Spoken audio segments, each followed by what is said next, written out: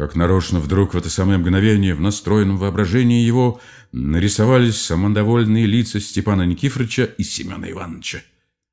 «Не выдержим», — повторил Степан Никифорович свысока, улыбаясь. «Хи-хи-хи», — вторил ему Семен Иванович своей самой прескверной улыбкой.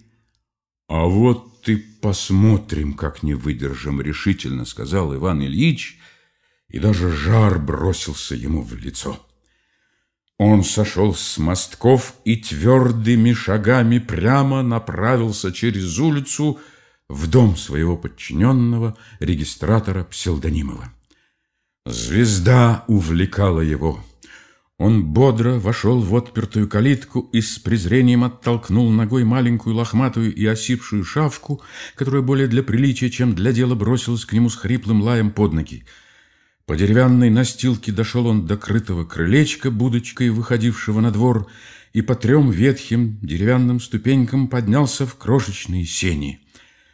Тут хоть и горел где-то в углу сальный агарок или что-то вроде плошки, но это не помешало Ивану Ильичу так, как есть в калошах, попасть левой ногой в галантир, выставленный для остужения.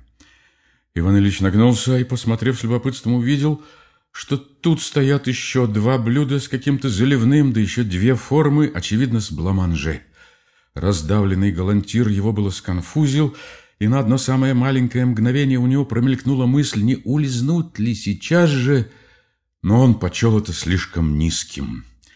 Рассудив, что никто не видал, и на него уж никак не подумают, он поскорее обтер калошу, чтобы скрыть все следы, нащупал обитую войлоком дверь, растворил ее и очутился в прималенькой передней. Одна половина ее была буквально завалена шинелями, бикешами, салопами, капорами, шарфами и калошами. В другой расположились музыканты, две скрипки, флейта и контрабас, всего четыре человека, взятые, разумеется, с улицы. Они сидели за некрашенным деревянным столиком при одной сальной свечке и во всю Ивановскую допиливали последнюю фигуру кадрили — из отпертой двери в залу можно было разглядеть танцующих в пыли, в табаке и в чаду. Было как-то бешено весело. Слышался хохот, крики и дамские взвизги. Кавалеры топали, как эскадрон лошадей. Над всем Содомом звучала команда распорядителя танцев, вероятно, чрезвычайно развязанного и даже расстегнувшегося человека. «Кавалеры, вперед! Шен де дам балансей!» И прочее, прочее. Иван Ильич в некотором волнении сбросил с себя шубу и калоши и шапкой в руке вошел в комнату. Впрочем, он уж и не рассуждал. В первую минуту его никто не заметил. Все доплясывали кончавшийся танец. Иван Ильич стоял как оглушенный и ничего подробно не мог разглядеть в этой каше. Мелькали дамские платья, кавалеры с папиросами в зубах, мелькнул светло-голубой шарф какой-то дамы, задевший его по носу. За ней в бешеном восторге промчался медицинский студент с разметанным вихрем волосами и сильно толкнул его по дороге. Мелькнул еще перед ним длинный, как верста, офицер какой-то команды. Кто-то неестественно визгливым голосом прокричал, пролетая и притопывая вместе с другими. «Эх, псевдонимушка!» Под ногами Ивана Ильича было что-то липкое, очевидно, полного щили воском. В комнате, впрочем, не очень малой, было человек до тридцати гостей. Но через минуту кадриль кончилась, и почти тотчас же произошло то же самое, что представлялось Ивану Ильичу, когда он еще мечтал на мостках.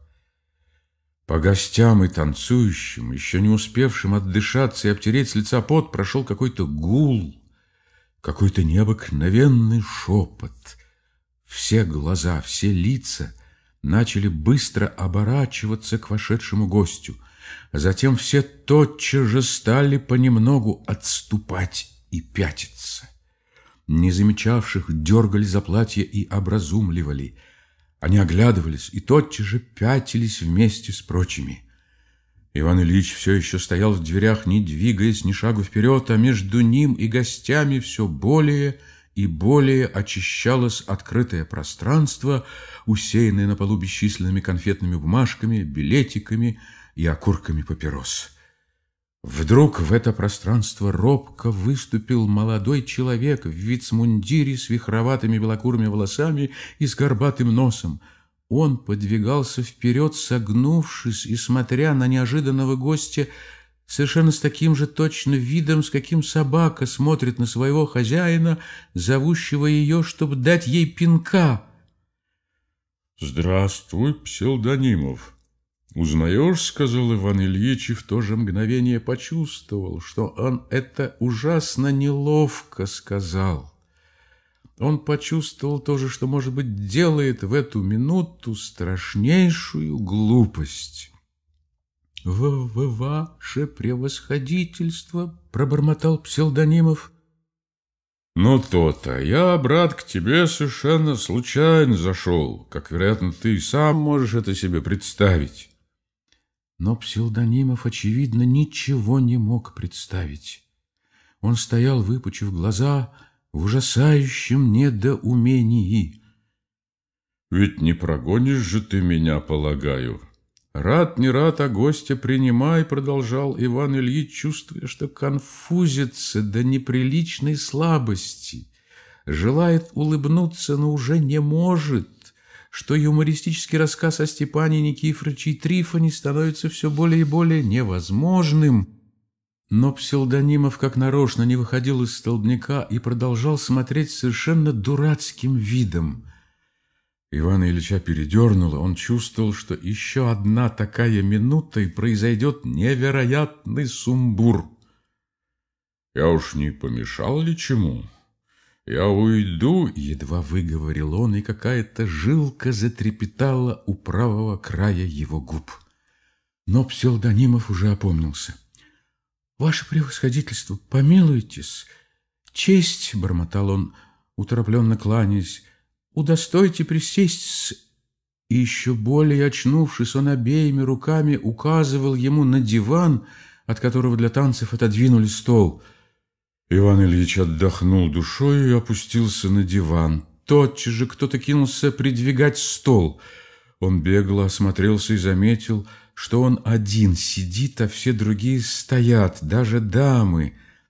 Признак дурной.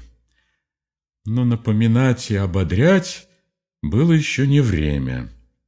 Гости все еще пятились, а перед ним, скрючившись, стоял все еще один только псевдонимов — все еще ничего не понимающий и далеко не улыбающийся. Было скверно. Короче, в эту минуту наш герой вынес столько тоски, что действительно его Гарон-Аль-Рашидское нашествие ради принципа к подчиненному могло бы почесться подвигом.